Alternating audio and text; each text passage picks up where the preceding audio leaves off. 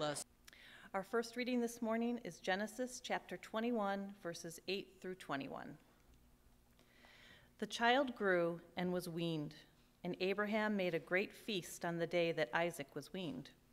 But Sarah saw the son of Hagar, the Egyptian, whom she had borne to Abraham, playing with her son Isaac. So she said to Abraham, Cast out this slave woman with her son, for the son of this slave woman shall not inherit along with my son Isaac. The matter was very distressing to Abraham on account of his son. But God said to Abraham, Do not be distressed because of the boy and because of your slave woman. Whatever Sarah says to you, do as she tells you, for it is through Isaac that offspring shall be named for you. As for the son of the slave woman, I will make a nation of him also, because he is your offspring. So Abraham rose early in the morning and took bread and a skin of water and gave it to Hagar, putting it on her shoulder along with the child, and sent her away. And she departed and wandered about in the wilderness of Beersheba. When the water in the skin was gone, she cast the child under one of the bushes. Then she went and sat down opposite him, a good way off, about the distance of a bow shot, for she said, Do not let me look in the death of the child. And as she sat opposite him, she lifted up her voice and wept.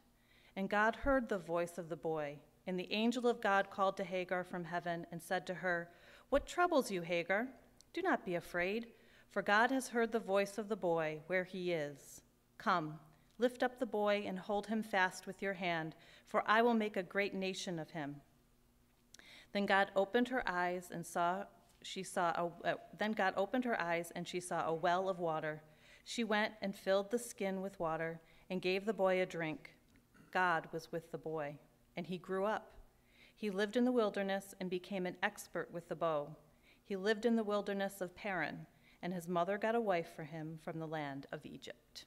This is the word of the Lord. Thanks, Thanks be to God. God.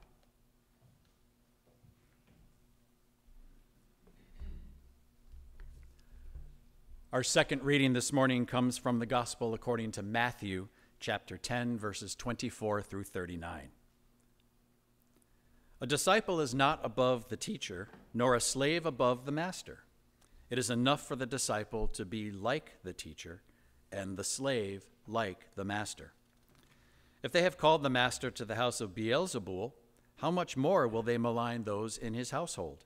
So have no fear of them for nothing is covered up that will not be uncovered, and nothing secret that will not become known. What I say to you in the dark, tell in the light, and what you hear whispered, proclaim from the housetops. Do not fear those who kill the body, but cannot kill the soul. Rather, fear him who can destroy both soul and body in hell. Are not two sparrows sold for a penny? Yet not one of them will fall to the ground apart from your Father and even the hairs of your head will all be counted. So do not be afraid. You are of more value than many sparrows.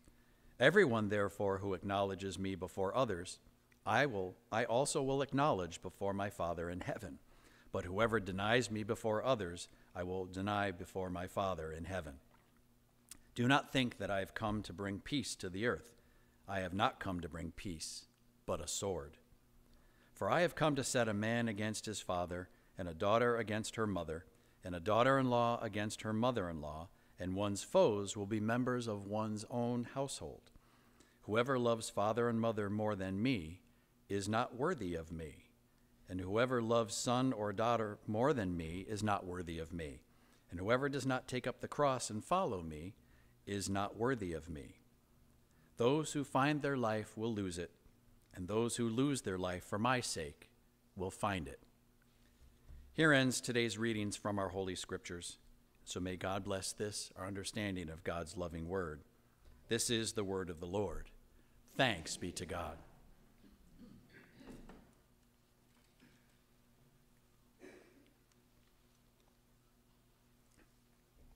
Let us pray. Dear Lord, may the words of my mouth and the meditations of all of our hearts be found acceptable in your sight, for you are our rock and our Redeemer. Amen. Just testing. Good. A couple of times a year, In the course of our revised common lectionary, which is how I follow the Bible throughout the year and how I set my preaching schedule, we get some extremely challenging scripture. This week's Hebrew scripture from Genesis and this week's gospel lesson from Matthew both will challenge our interpretive skills and our faith skills. While Genesis tells of Abraham and Sarah's slave Hagar, the one who bore Ishmael, drawing the ire of Sarah and being thrown out into the desert with Ishmael to die. Matthew depicts Jesus describing himself as the root cause of some serious disagreement, dissension, and dispute among faithful households. It wasn't until I actually sat down to write this sermon that I realized how challenging these scriptures really are. And it would have been nicer if I could have chosen different scripture, but I didn't. The really difficult scriptures that we have in this lectionary and in our Bible stretch us and they strengthen us. And I try really hard not to shy away from hard scripture, especially because we can learn some new things if we look at these scriptures with modern eyes. Now, our gospel lesson gives us an important message. Jesus tells his disciples that his very presence will split families apart. He understands that his sacred role, his controversial and political approach, will cause families to naturally disagree and to put distance between themselves. Issues of faith can often do this, but Jesus takes us to an even more challenging place. He tells us that faith in him is even more important than our loyalty to family. Now, I know this sounds scary, but Jesus tells the disciples and us to not be afraid. That by taking up our own cross and following him, we become worthy. And by sacrificing for his sake, we gain our lives. But that's not particularly comforting. I'm not sure for me. Living a faithful life, as we understand it with how God calls us to be, can be extremely challenging. And it can be difficult to thrive in a challenging environment in which we live. But we were created as faithful children of God. And sometimes, just by being ourselves, just by living faithfully, we might cause some conflict with those around us. Might be something we say, it might be something that we do that makes somebody upset. But I have hope. And we can have hope that in the faithful living of our lives, the sacred life force triumphs always over adversities. A few years back, um, while taking our dog Lincoln out on some walks in the neighborhood, I began to notice things that were growing in places where it was very difficult to survive. And I've used pictures like these in previous sermons, but I brought three pictures with me today, each showing an example of life as I saw it growing in an inhospitable environment. This is a fern. Aside from the fact that we have a family inside joke that always is that this is a family reunion for the ferners. Um, this fern caught my eye because it's growing on a sheer rock face. It's growing in some cracks. There's no soil there, and there's not a whole lot of water either. Challenging living circumstances for sure. And it looks to me like it may never grow to full size, right? The ferns may always be small because of the nutrients or because of what they can get to keep them alive. But the life force in these ferns, as it was created by God, is very strong. So, just being a fern on this cliff in the midst of challenge is an act of faith. Here's another one. Betsy will recognize that one, I think. This one amazes me because, in addition to growing out of practically sheer rock, this tree also has obviously had to live with some pretty strong winds. It's bent over. If you look carefully, you can see that the wind has snapped off a good section of the top of the tree, and yet it continues to thrive. In very challenging conditions, it simply lives, being the tree it was created to be. I see this as an act of faith in the face of some pretty tough diversity. This last picture, though, is my favorite, and you might, many of you have probably seen this before because it just blows my mind. This is the one that got me thinking about life and living life in adverse conditions. And it's the one that showed me that life is literally stronger than death, stronger than any barriers, that faithful living can actually lead to growth. Now, there's actually two plants here. There's one that I know is a wild blackberry plant, and there's another one that I really can't identify. It's, it's kind of jammed down on the right hand side, it's a little dark. It's in a row of posts just across from the baseball field by Shove Park. It protects the old soccer field from cars that are traveling on Whedon Road, and you're not supposed to park on that side. I see life thumbing its nose at adversity, right? Growing in spite of limited sun, right? It's in the shade for probably 23 hours of the day, maybe less almost gets no nutrients. Can you imagine how much rain that thing gets in just a little six or seven inch hole? Whatever downpour it gets, that's the rain that it gets. But I know that barring any accident or anybody finding it and pulling it out, that the blackberry bush will burst forth into sunshine and be rewarded for its faithful act of living as it was created in the place that it was planted. Sometimes in our own lives, we're the fern. We're the tree. We are the blackberry bush planted somehow deep in a post, inexplicably. Adverse conditions don't have to stop us or even control us. Surviving each and every day, just being the person that God created us to be, is living a faithful life. Hagar was surviving in the desert with Ishmael with the help of God like the families that Jesus said would be split over his very presence.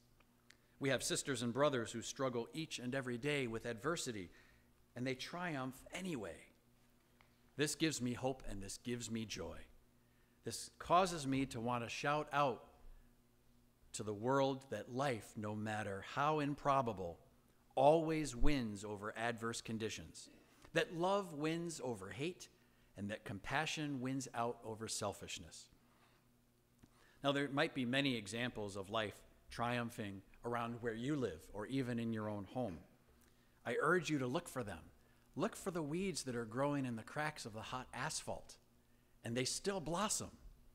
They're everywhere. Reminders that God creates life, and in the midst of challenging circumstances, life wins. And we need not be afraid not for ourselves. We should be afraid for our brothers and sisters who might need assistance, who need some extra sunlight or rain or nutrients that we can give them.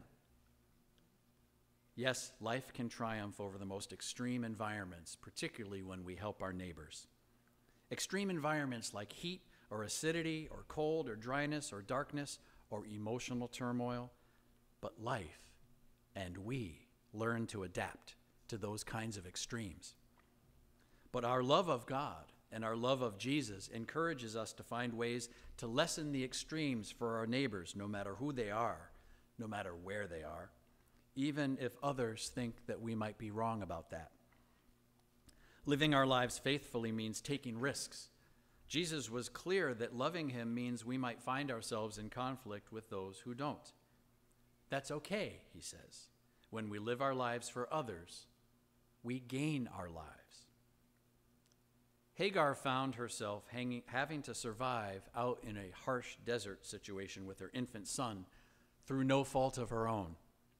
And this story really deserves its own sermon. So someday I will try and talk a little bit about the impact of this Hagar story on our faith and on the faith of the Muslim faith because lore has it and the Muslim faith claims Ishmael as their founder. The Muslim faith sees the son of Abraham, the first son of Abraham, through a slave woman as their early, early progenitor. Jesus was encouraging his disciples and us to take risks for him. The consequences may be potentially harmful or painful or divisive, but the rewards are eternal. We know that life can thrive in adverse conditions. We know that the world outside of these four walls has plenty of adverse conditions. We know that life can thrive. This brings me hope, it brings me joy. And for now, I know that no matter what conditions we might face as one worshiping community, you and I have God's help to get us through. Amen.